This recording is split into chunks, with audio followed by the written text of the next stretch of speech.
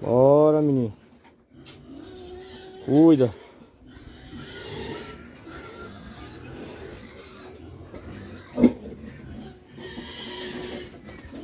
Hoje é 15 de outubro 2022 Chama